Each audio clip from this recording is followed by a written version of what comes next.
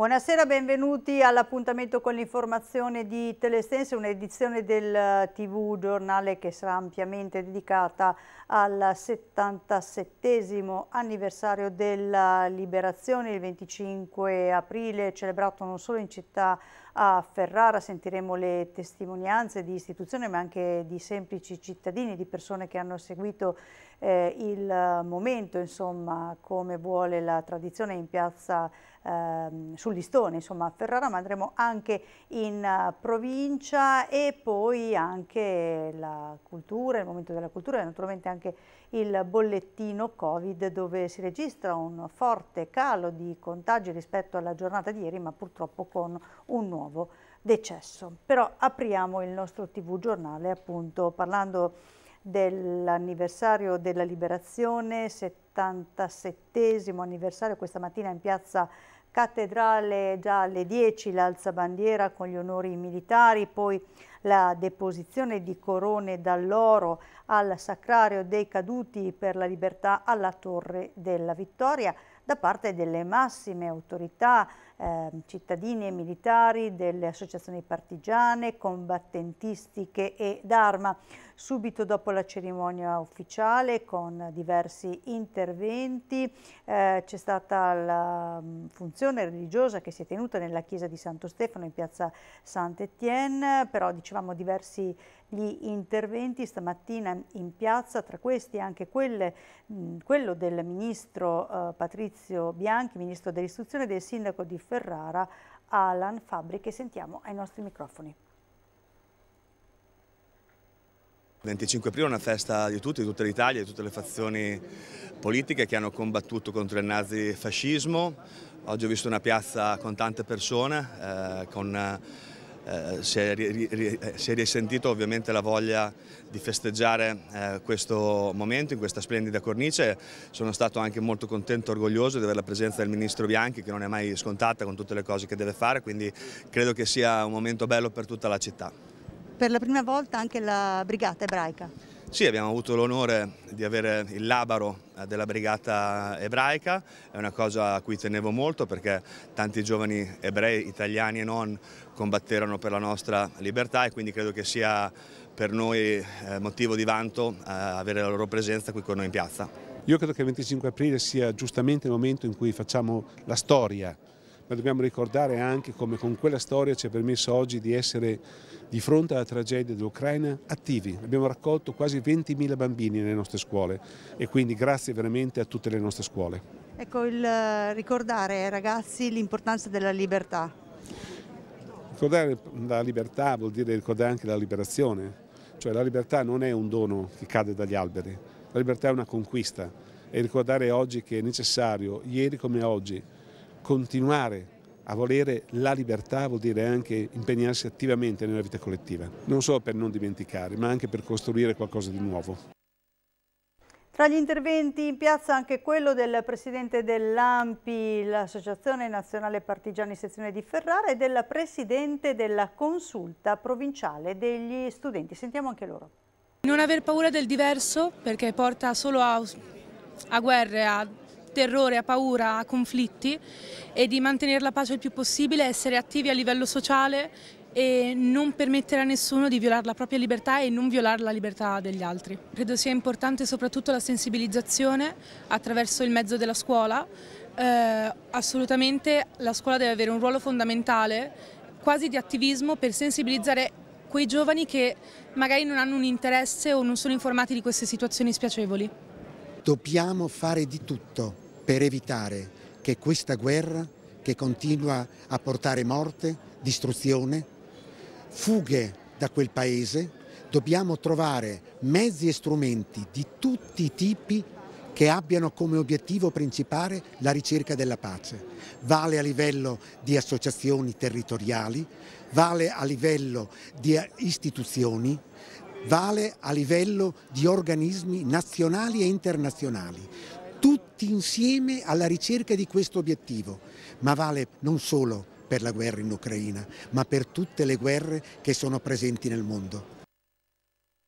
Tanti stamattina, dicevamo proprio in piazza Trento Trieste a seguire questa, la cerimonia, molti ferraresi ma anche diversi turisti ai nostri eh, microfoni, le loro impressioni sul significato del 25 aprile, sulla festa della liberazione in un contesto, quello internazionale, che vede eh, una guerra proprio alle porte dell'Europa. Sentiamo. Siete di Ferrara? Sì, sì, siamo di Ferrara qua tutti gli anni, primo anno? Certamente, tutti gli anni.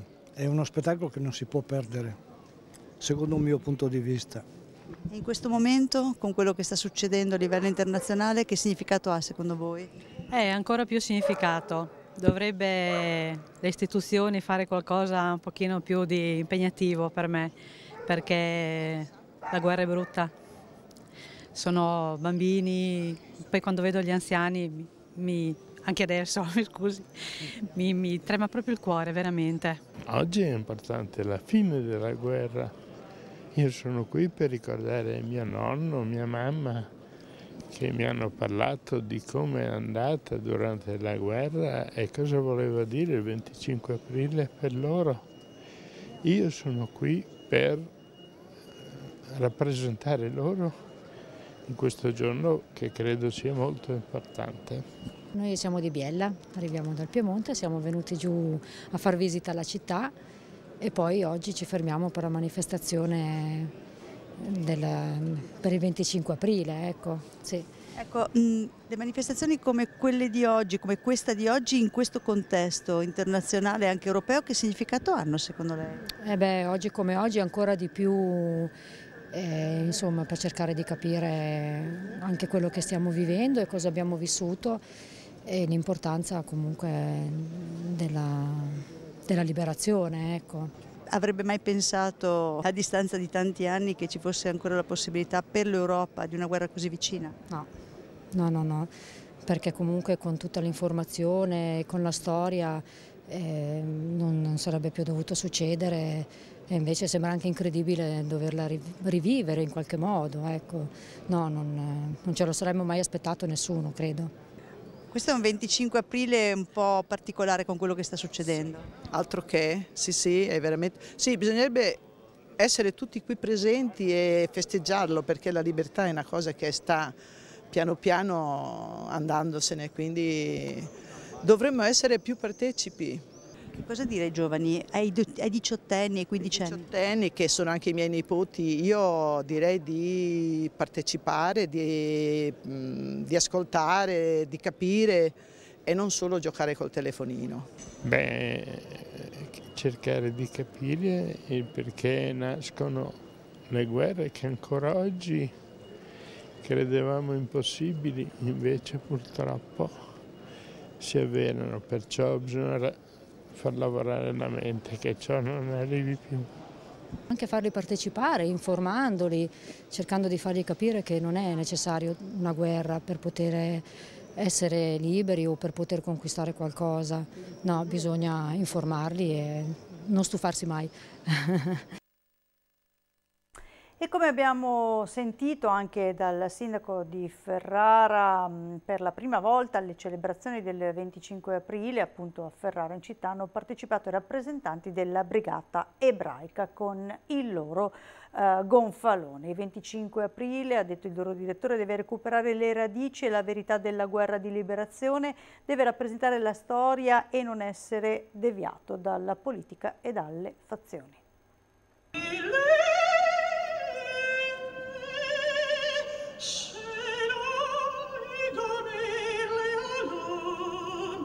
Abbiamo voluto dedicare anche alla città di Ferrara questo canto e dedicarlo a tutti i caduti, eh, soprattutto della Brigata Ebraica, ma anche a tutti i caduti per la nostra libertà.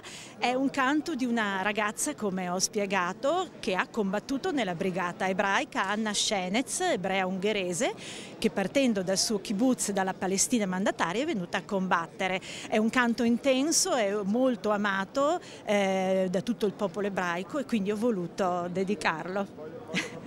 Perché è importante ricordare, non dimenticare soprattutto pensando che certe cose non possano più succedere ma purtroppo si ripetono?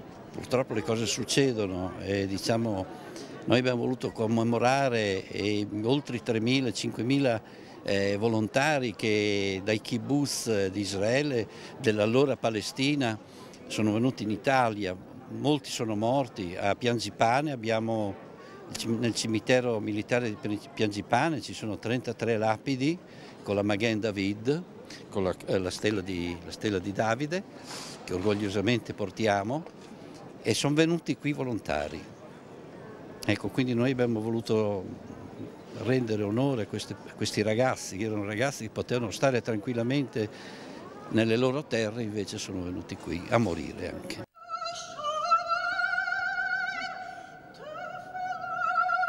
Noi del popolo ebraico abbiamo due grandi, eh, due grandi parole. Bechor che è ricordo, Zachor scusate, che è ricordo, viviamo nel ricordo di tutte le persone che nella Shoah, ma anche in 5782 anni hanno incontrato Amelech, cioè il nemico, colui che ha voluto la distruzione del popolo ebraico, però abbiamo anche Atikva, la speranza, la speranza quando anche siamo nel momento più nero, più terribile, noi risorgiamo, andiamo avanti, abbiamo la forza di andare avanti, questo che auguro a tutti, soprattutto ai ragazzi, andiamo sempre avanti, Yalla Kadima.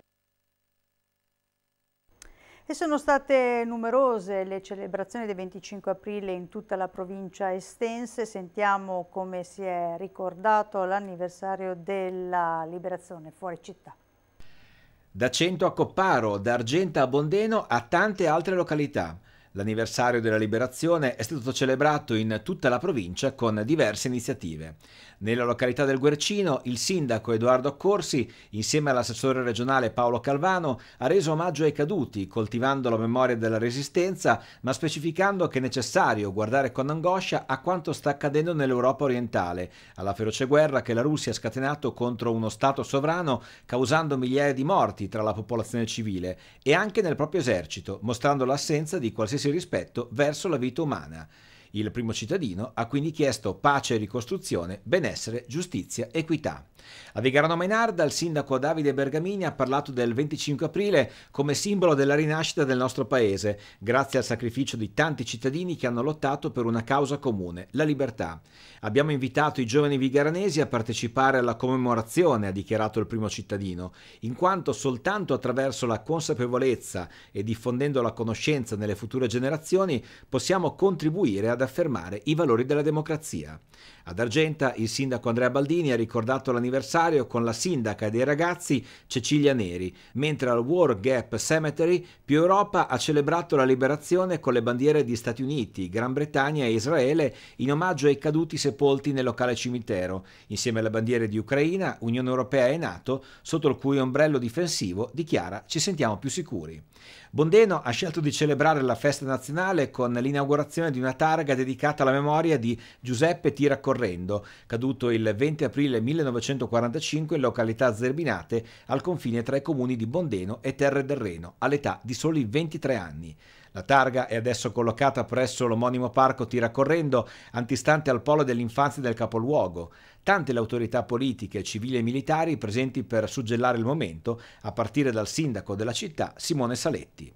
A Codigoro il sindaco Sabina Alice Zanardi, dopo aver deposto corone di alloro davanti ai monumenti ai caduti disseminati tra le frazioni del capoluogo, ha concluso in piazza Giacomo Matteotti le celebrazioni del 77 anniversario della festa di liberazione. Riflettere sul valore dei diritti dell'uomo, primo fra tutti quello di poter vivere in pace, è il forte messaggio che ci ha consegnato la Resistenza, ha ricordato, richiamando le parole del Presidente della Repubblica Sergio Mattarella. Infine una storia che arriva da Copparo. Nelle cascine della campagna copparese occupati dai tedeschi vennero trattati bene, ma per un motivo agghiacciante. Lui era un bimbo biondo con gli occhi azzurri, decretato dunque ariano. Con viva emozione Giorgio Pollastri ha testimoniato come il suo aspetto, a poco più di quattro anni, abbia garantito la salvezza della sua famiglia in tempi terribili e violenti. Una testimonianza per mantenere viva la memoria collettiva, che è stata al centro della cerimonia del 25 aprile a Copparo. Ciò che sta accadendo ci dimostra quanto abbiamo bisogno di non dimenticare la nostra storia nazionale ed europea, ha dichiarato il sindaco Fabrizio Pagnoni.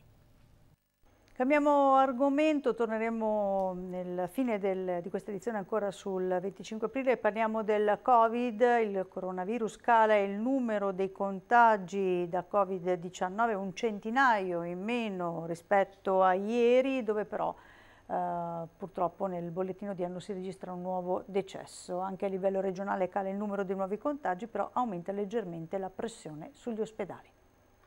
234 nuovi contagi e un decesso. Questi dati riportati dall'ultimo bollettino pandemico relativo a Ferrara e alla provincia estense. I nuovi casi di coronavirus in 24 ore registrano un importante calo, ma purtroppo Ferrara piange una nuova vittima, un uomo di 95 anni per complicanze da Covid-19 calano anche a livello regionale i nuovi positivi, sono 3.403, mentre aumenta il numero dei nuovi guariti che sono quasi 4.900.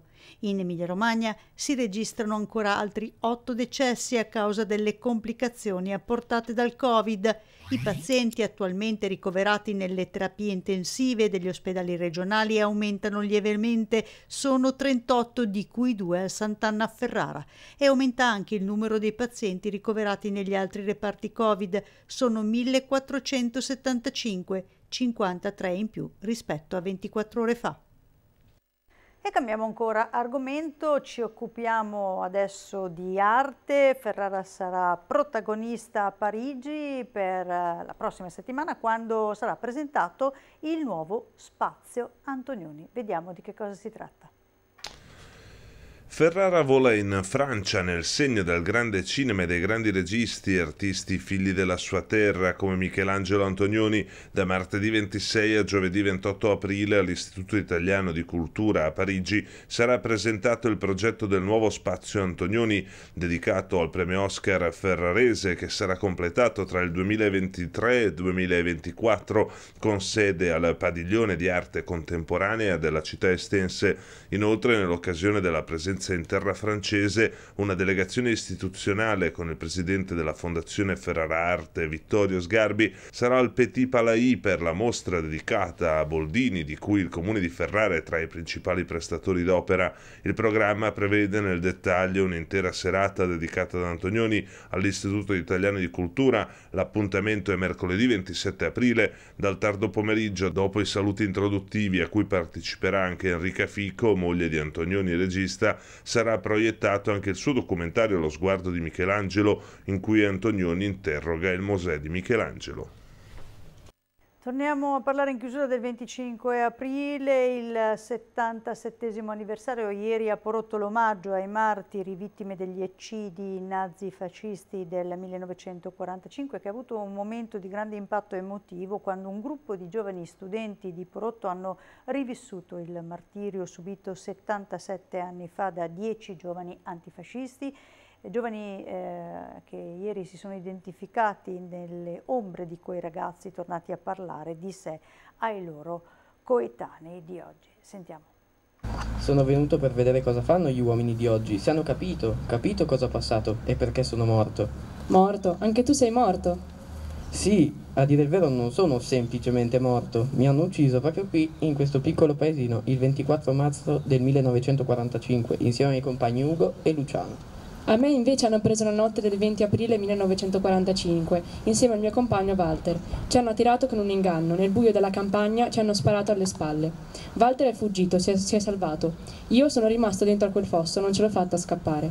Ho pianto pensando alla mia famiglia. L'ultimo sguardo l'ho rivolto alle stelle che illuminavano quella notte, pregando che non andassero a prendere anche loro. Quella notte hanno preso anche altri sei amici. Sono entrati nelle loro case. Chissà come facevano a sapere dove abitavano.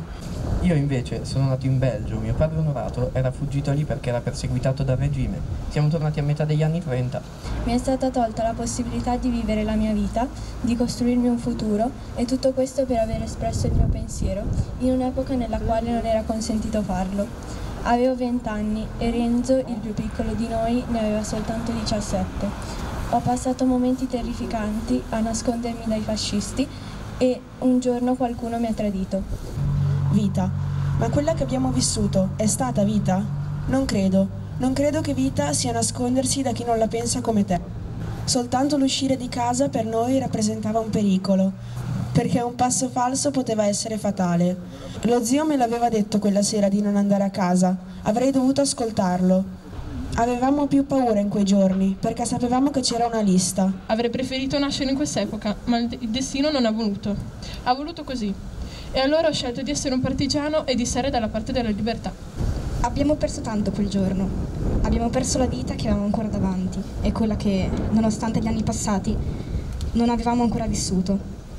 Avremmo voluto anche noi una libertà data per scontata, una famiglia. Adesso la dittatura non esiste più e nel nostro paese potete vivere liberi, ma il timore che ritorni c'è ancora, nessuna conquista per sempre. Pensate a quello che sta succedendo alle porte della nostra Europa. Non è poi così lontano. Fate attenzione, prendetevi cura della vostra libertà con tutte le forze. I ragazzi appartengono a scuole frequentano la prima superiore in tutti in istituti diversi. I ragazzi in realtà erano i miei ex alunni alla scuola di Fondoreno, avevo questa caratteristica particolare di avere un alunno che proveniva da Galliera e questo Galliera e Fondoreno io li ho visti uniti in questa cosa e insomma li ho un po' stimolati all'inizio e poi hanno veramente costruito tutto da soli. Allora, chiudiamo qua con questa importante testimonianza il nostro TV giornale. A me non resta che ricordarvi il nostro sito, la nostra pagina Facebook e il nostro canale YouTube. Grazie di essere stati con noi, arrivederci.